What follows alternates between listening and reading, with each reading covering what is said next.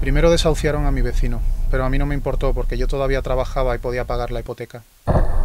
Luego le negaron la sanidad a aquel inmigrante del semáforo, pero yo me callé porque a mí seguía atendiéndome el médico.